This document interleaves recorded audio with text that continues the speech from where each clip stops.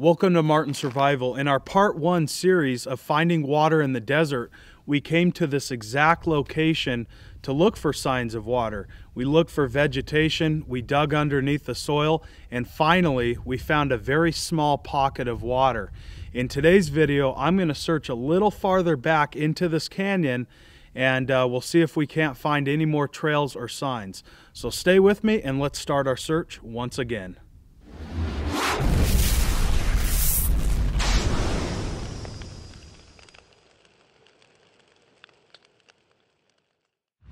So what I'm going to do is head farther up this dry wash and instead of stopping where I did last time at that dead end, I'm actually going to scale up and over the exposed bedrock. See, when you find exposed bedrock in the desert, when in search for water, it's extremely important to check some of that area out.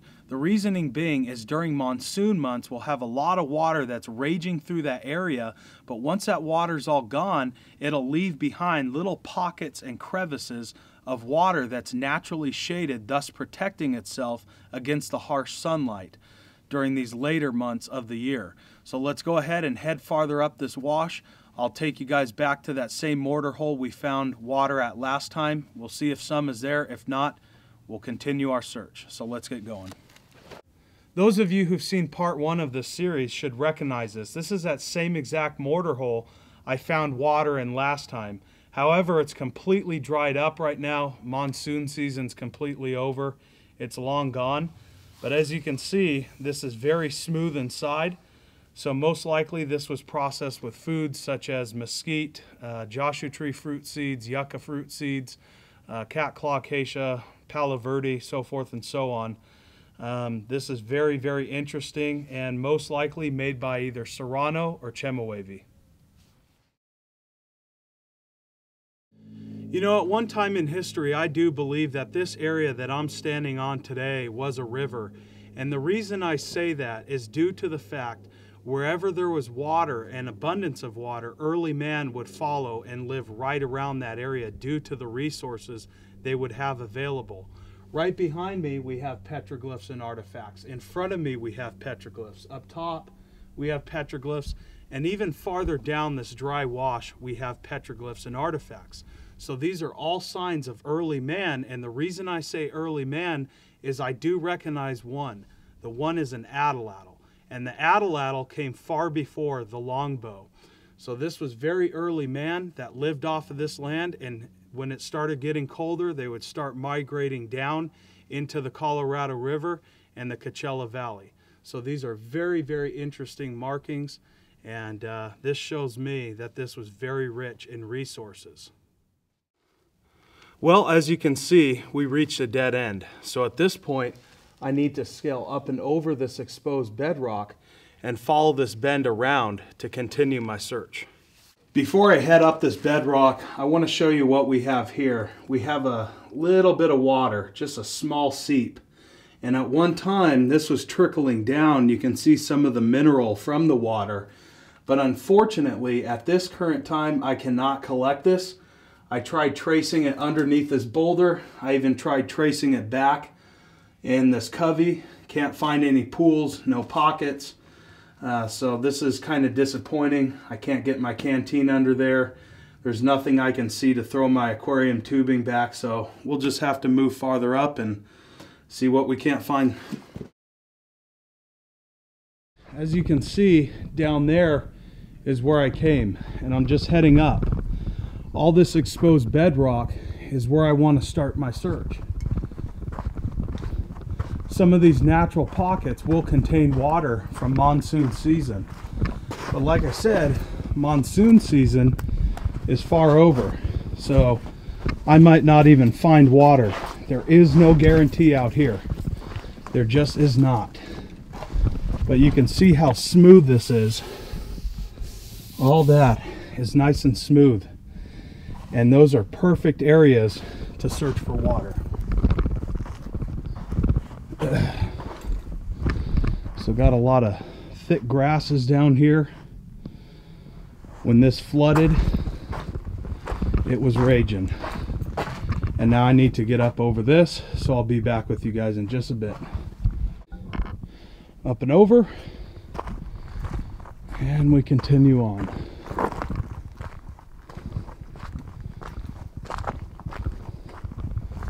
So even up here, you can see where water settled that one time.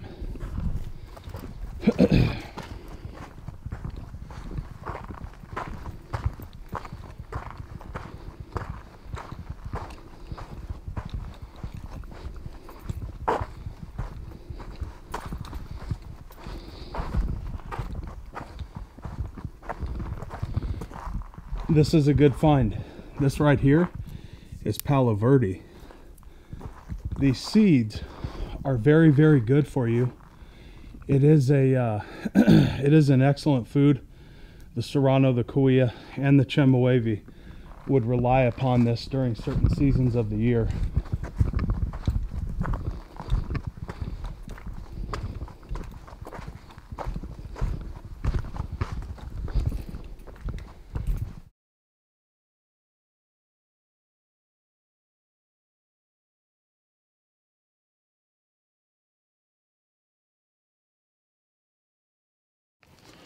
All right, so down in here, I just followed that wash bed up and you can see what we have here. In this exposed bedrock, we have lots of natural pockets. This is all smooth. Water was raging through here. So this is an area where we would really want to stay clear of unless we're dipping down in here to collect water. We would not want to make our base camp here. I mean, this water was I mean, it was really, really ripping through here. So we want to be very careful. What I'm going to do is I always carry my canteen and I also carry a nesting cup. Both are stainless steel. So I'm going to collect this water and I'm going to take it back down and we're going to disinfect it. So there is some insects in here. That's a good sign. If there wasn't, I would want to be very careful and I would probably want to steer clear from this.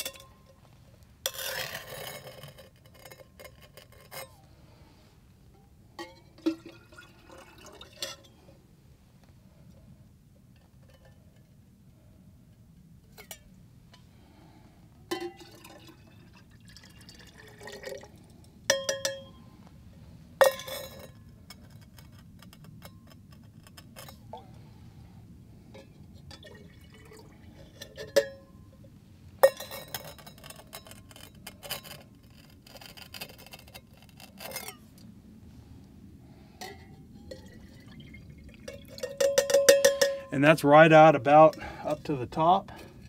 So we'll take this down and this thing right here is a good 40 ounces. The good thing is, is there is still a lot of water down in this pocket.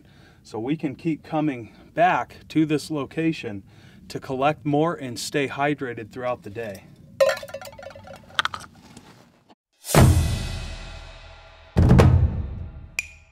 Now, as mentioned earlier, I am going to boil this water to disinfect it, and that's really my first go-to compared to chemicals. I don't really like putting chemicals into my body, and not only that, certain chemicals do not work with cryptosporidium. And I, once again, I do not know what's in that water. It was found in the wild, so I want to make sure it's really disinfected by boiling. Now, boiling will get rid of cryptosporidium. However, with that being said, there is a downfall with boiling. It takes a lot of firewood, a lot of hydration, a lot of calories. I have to process the wood. I have to gather and haul the wood back to my base camp. But once I have that set, I'm good to go. As long as I have plenty of firewood, I can stay warm at night. That's most important. I can cook my food and disinfect the water, plus keep the animals and critters away. I could even make tools. So what I'm going to do to make this fire is use a method called the hand drill. You guys have seen this before. This is my hand drill kit and I've really made a certain connection with this kit. And that goes along with any kit that I create. you have to have that connection. It really brings you closer to the earth and what she provides. So I just got my, uh, my hole already burned in here. I'm gonna add saliva and create my ember.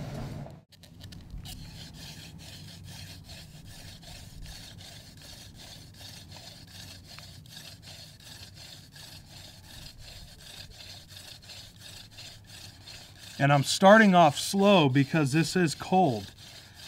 This hand drill kit was left overnight and I want to get it nice and warm. So I just start off slow and I work up speed. So I'm starting to see a little bit of smoke. Now one thing I really don't mention in some of my other videos with the hand drill or the bow drill, any primitive fire, is, you know, once you have an ember, it does not mean you have fire. So you got to really take your time. You, you got to have a level head. You got to be cool and collective. Need a little bit more spit.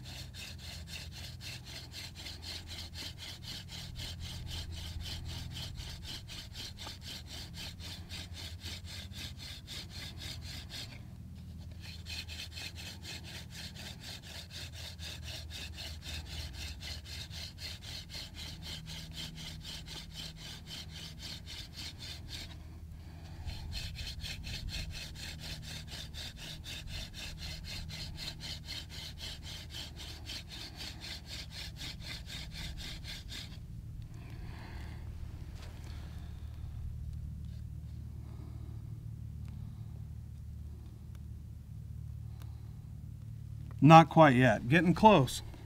That's all right.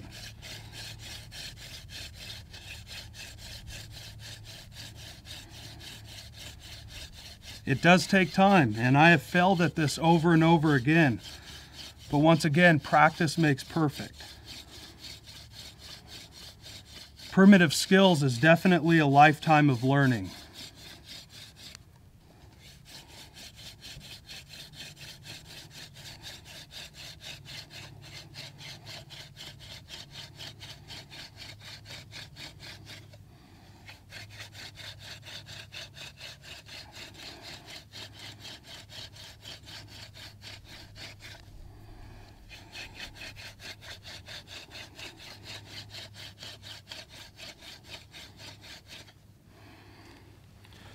What we got.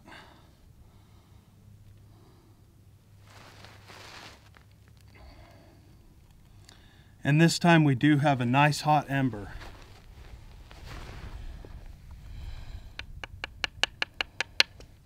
And I'll set my hand drill kit to the side, up off the cold ground. And I'm going to transfer this ember into my tinder bundle.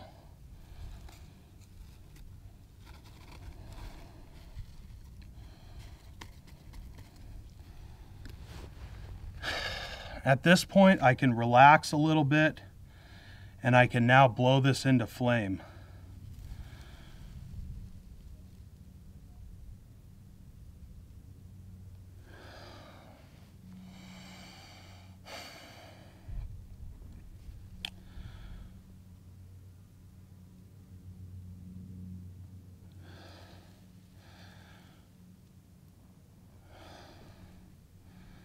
My tinder bundle is juniper bark.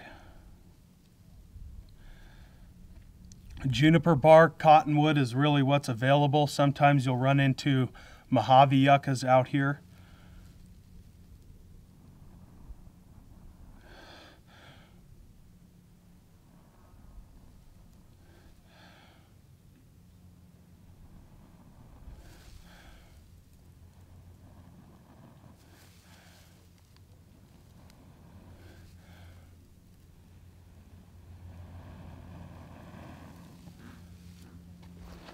And we have fire. So at this point, I'm going to slowly add my fuel.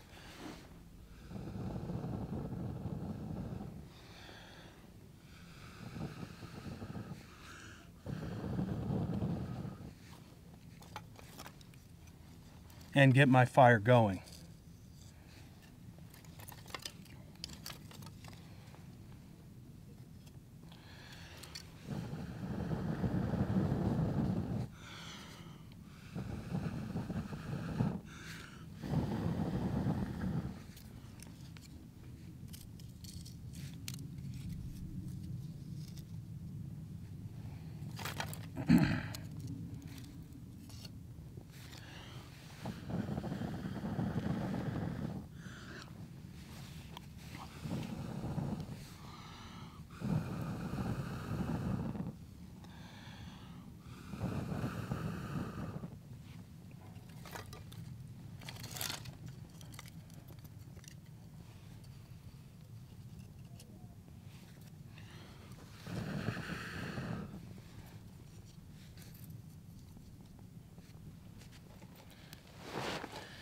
And I did bring a friend out here.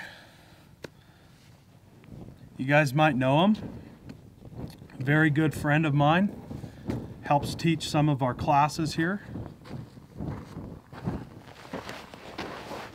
Take a seat, dude. All right. Uh, I'll get down. I won't be able to get back up. Mr. Howdy. Dude McLean. How you doing, dude? I'm doing good today. Thank you.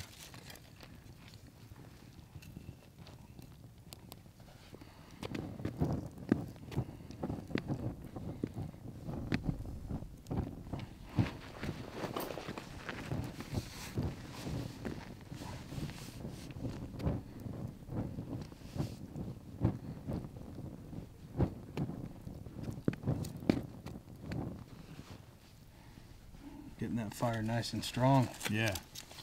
Looking good. Yeah.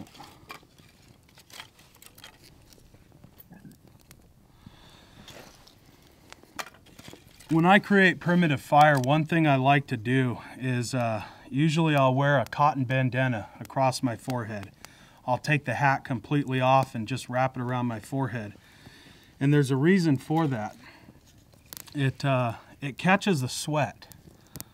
That's the one thing you do not want to drop on that ember, and I see that happen very, very often, is folks will get in the hype of creating fire and their adrenaline's really going and they're really working hard, and that sweat will put that ember out. Or it'll touch that hole, and guess what? They have to make a new one. How many times have you seen that? Dozens. Lots of times, huh? That's right. Yeah, The slightest little thing can throw you off. that's right.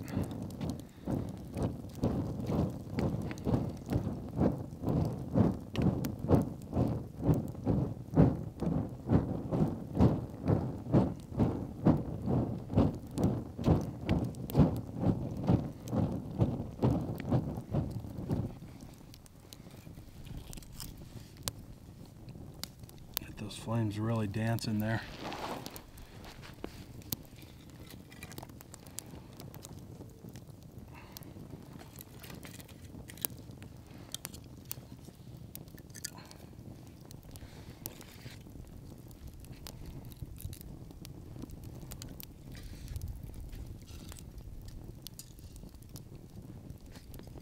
It's getting hot.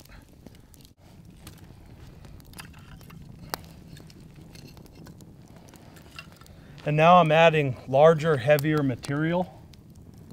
It's getting that fire built up. Yeah, it's one of the things you have to be careful of. Sometimes people get too much in a hurry, and they're trying, they're getting too much on, and they cut off the oxygen flow. That's right. If it gets too heavy too fast, you're in trouble. Yeah. And one thing is the wind. Whenever there's high winds, which the West Coast usually gets, very rarely we have a calm day like this. When there's high winds, plan on gathering twice the firewood. It'll burn up like It'll crazy. burn up like crazy. That's right. And we'll just let that burn for a little bit. Yeah, that breeze helps out a little bit. Yep. It's just barely there too. Yeah. I'm gonna get more wood from that bundle. Always, always, always carry black trash bags. Can be used for shelter, can be used for a poncho, which runs along the same lines of shelter. Can use as a rain catch. But one of the best things that I have used this for is gathering firewood. Now a lot of this stuff is just processed, but I have been out there and I'm sure dude has many times where he has gathered plenty of firewood using these black trash bags. Absolutely, yeah. One of the handiest things to have around. That's right. This is the one piece of gear that I do not leave without.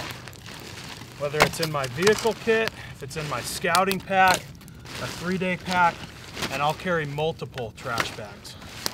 It makes a great lean-to if you need it. That's right.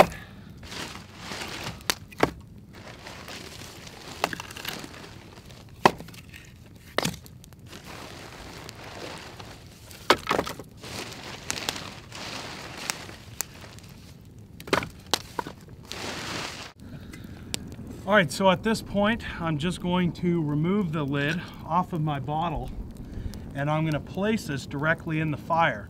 I want this sitting flat so it doesn't spill over. So I'll just slide that in right there. And we'll wait, let this get to uh, about 212 degrees, that's boiling point, and we'll be good to drink it. All right, so we are now at boiling point. This has a nice roaring boil on it. This water is now disinfected. So what I do is I use a pair of tongs. You can make these or just use pieces of wood like this to carefully remove the fire. And this is important, you do this slow. You don't want to risk burning yourself. So what I'll do is I'll just grasp it together and slowly move it out of the fire.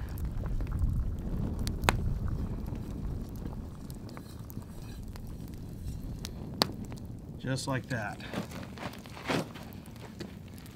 And I'll move back.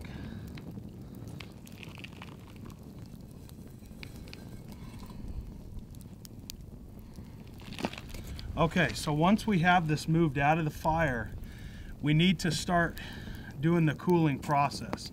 So this is gonna take a while to cool. Sometimes what I'll do is I'll dig a pit and I'll, I'll place the water bottle in that cool ground to where it's going to, uh, getting a face full of smoke, to where it's going to start cooling twice as fast. I'll even line it with vegetation and uh, that helps out quite a bit too.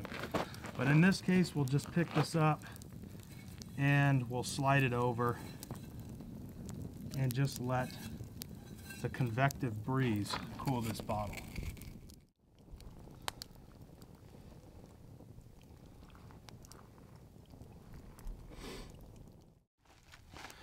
Well, what I did is I actually came around this bend and uh, you can see that we have a microclimate of shade. That helped the cooling process with this water. It wasn't in the harsh sunlight, so that's perfect.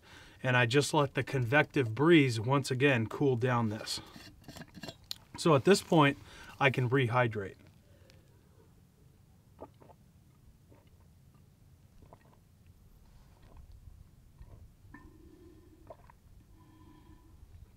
Uh, still a little bit warm, but it's not not nearly as hot, of course, as uh, pulling it out of the fire. So this this shade definitely does help. Uh, once again, there is other methods, digging a hole, actually putting it in the earth, lining it with vegetation. Uh, that'll help speed up the process of cooling through evaporation. So with that, I do appreciate you joining me for this video. Once again, Finding Water in the Desert Part 3 of this series. I'm Jeff with martinsurvival.com, and we'll see you in the next one. Mm. Good stuff.